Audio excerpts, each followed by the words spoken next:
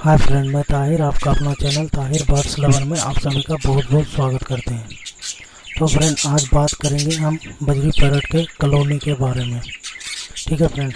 क्योंकि कई फ्रेंड के मन में ये सवाल उठता है कि भाई, हम अपना बर्ड्स कितने बड़े कॉलोनी में पालना स्टार्ट करें तो फ्रेंड, ये वीडियो अगर आपको अच्छा लगे तो लाइक और सब्सक्राइब ज़रूर करें। तो चलिए अब इस टॉपिक पर बात करते हैं। तो फ्रेंड अगर आप ज़्यादा बर्ड से स्टार्ट कर रहे हैं तो उसकी कम से कम लंबाई चौड़ी चार बाय पाँच या पाँच बाय छः का रहना चाहिए।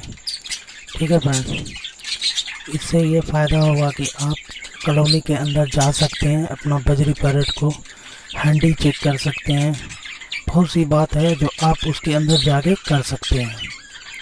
ठीक है? और इतनी बड़ी कॉलोनी में जब आप बर्ड्स छोड़ेंगे तो उसको बहुत ही अच्छी तरीके से उसको उड़ने मिलेगा उसके अंदर।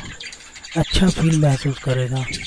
तभी ब्रीड अच्छा से अच्छा करके देगा आपको। ठीक है फ्रेंड तो आप इस चीज़ का ख्याल रखो। और उसमें ये फ़ायदा है कि फ्रेंड अगर एक बर्ड्स मीटिंग कर लिया तो उसके पीछे सारे बर्ड्स मीटिंग करना स्टार्ट कर देते हैं। और चिक्स भी कलर बाय कलर निकलता है।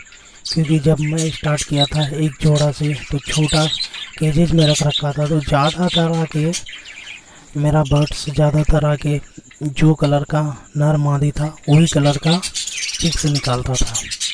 तो फ्रेंड एक दो पीस या एक दो जोड़ा दूसरे कलर का निकालता था।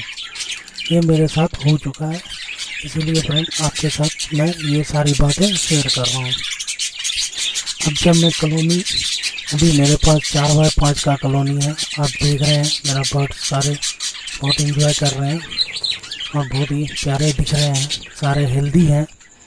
और अब इसमें कलर निकलना स्टार्ट हो गया है। इसमें कोई दिक्कत नहीं है। सब बेहतर से बेहतर कलर निकालते हैं और हेल्दी से हेल्दी चिक्स भी निकालते हैं।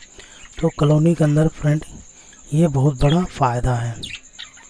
ठीक है फ्रेंड और केजेस के अंदर ये फ़ायदा है कि वो सेपरेट रहते हैं और उसको मीटिंग करने में कोई डिस्टर्ब नहीं है। कॉलोनी में एक छोटा नुकसान ये भी है कि वहाँ पे जब मीटिंग होता है फ़र्स्ट मीटिंग तो बहुत परेशान करते हैं एक दूसरे को।